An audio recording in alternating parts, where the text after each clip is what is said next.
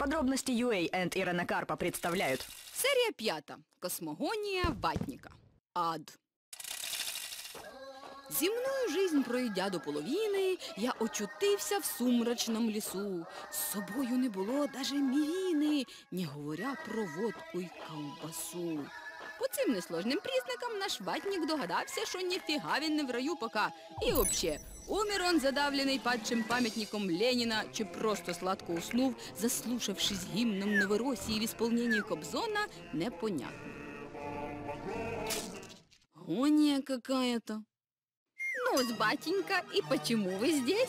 Пиво, небось, без водки употребляли? Или тренички сносили без остроносых туфель? Либо же программу Дмитрия Киселева пробухали? Признавайтесь-ка, сейчас мы будем вас, будем вас с молиться и горячей подчивать. Тут из глубин ватного подсознательного донесся отчаянный крик учительницы літератури з прошлих лет. Беатріче! вопіла вона, намагаючись окунути дітей в мір вічної класики, да так і скончалась, думає, що попитка її не зазнала успіха.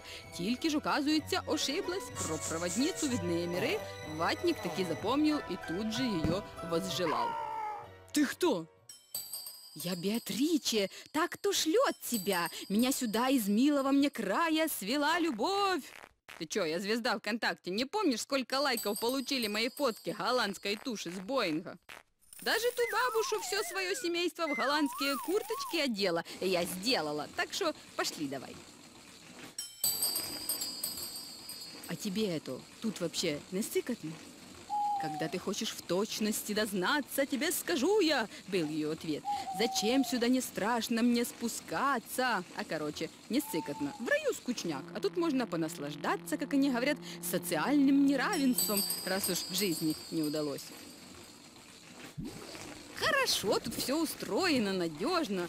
Тут вот у нас для тех, кто за Динамо Киев болел, площадь вечной иллюстрации. Цьому котле для тех, кто с недостаточным уважением в караоке пел Владимирский Централ, вечное изучение и хоровое исполнение бандеровских песен акапелло.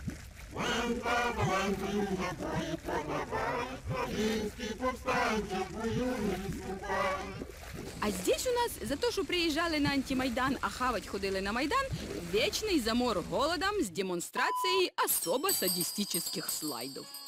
Ну, тут у нас насильный переход в Европу.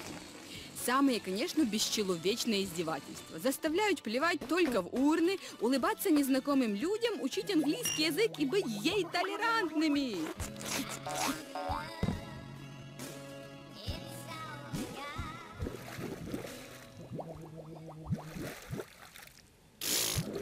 Но на самые страшные муки обречены будут знаешь кто? А те, кто 2 числа на выборы парламента ДНР не пойдут.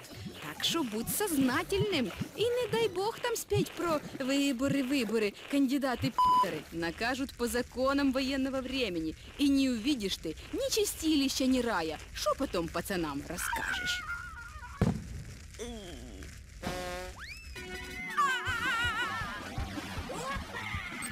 Продолжение следует или to be continue.